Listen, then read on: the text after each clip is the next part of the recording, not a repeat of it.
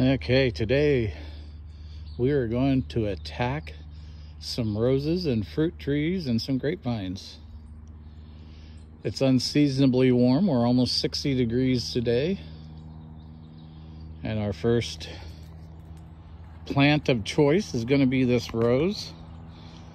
Normally I would leave it another couple of weeks, but since the weather is so great, we're going to hit it today. I like to leave it because all of these plants because the the uh, birds actually eat little bugs and stuff on them and like the apple tree right there in front of me it still has apples on it. And they will actually eat the apples. So today's tools of choice I got my small little pruners here. The red handled ones, they will do probably 95% of the work today. If I get a real tough branch, I will hack it down with the little saw there, hand saw. And then this, this little pruner here will be for the bigger ones that my hand pruner doesn't get. And if it looks like it's too big for that one and not a big enough for the saw, then I'll use my big ratcheting pruners here. And that is going to be the first one we are going to hit. We're going to put all these in a little container and go put them on our compost pile. All right, I'll be back.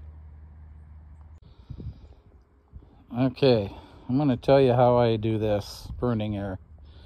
There is a lot of canes growing up in the middle. One of the keys to roses is to get it so the air can flow through them. That will uh, help the powdery mildew situation. So I've had pretty good luck with it, doing it that way. Um, Another thing, as you can see, well, it's not focusing well, but it is starting to bud out. So we'll take an out-facing bud, say like this one right here, facing the outside of the plant, and I will just snip it off. And now, that will produce new growth to the outside of the plant, which is where you want everything to keep growing, is towards the outside. Now this is too tall. I will take mine down between 12 inches and two feet, depending on where the strongest buds look. Everybody says, oh, no less than 12, no more than 18. And I'm kind of like, you know, the plant really doesn't care that much this plant here is over six feet tall and it was pruned back last year.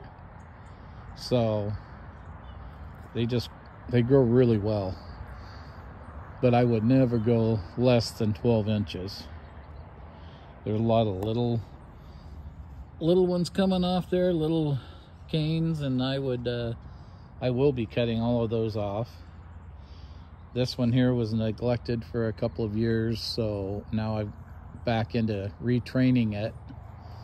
So I'm slowly cutting more and more growth off every year to make it a much healthier plant. This one here was transplanted when we moved here 10 years ago. It's been here for 10 years. It's got a really nice pink flower on it.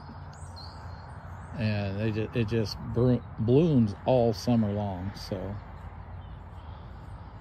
anyway, I'll give it a little pruning here and then I'll show you what we come up with.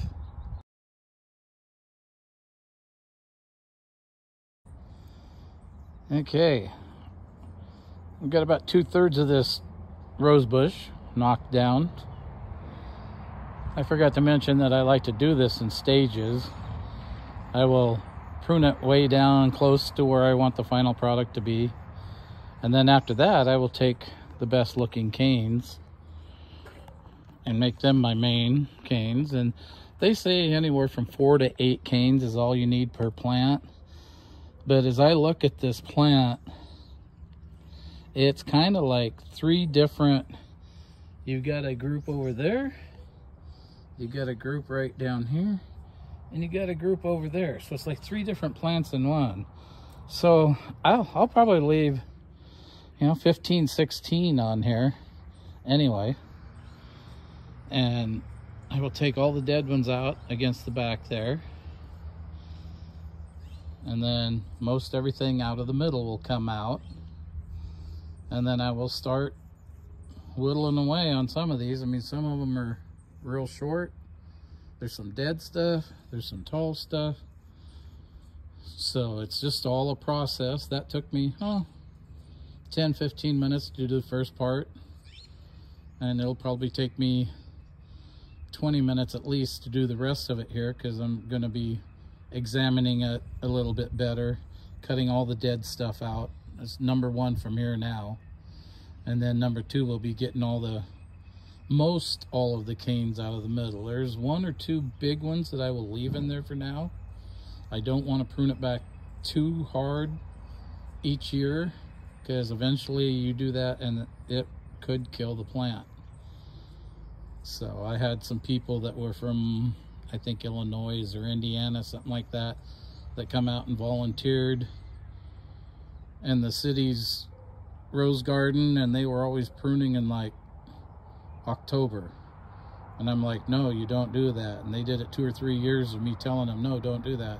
And finally I got it to where they were not allowed in to prune anymore because they were killing the rose bushes. It's the wrong time here. So I'm gonna get the bigger pruners out now and we're gonna attack this thing. We're gonna make it pretty. And I'll show you uh, some more progress in a minute. All right, here's the rose bush now. You see I got the middle of it all cleaned out. Got a couple funky looking branches over here cleaned up the ground around underneath it. Should do very well this year. At least I'm hoping so. All right, one rose bush down, about seven more to go.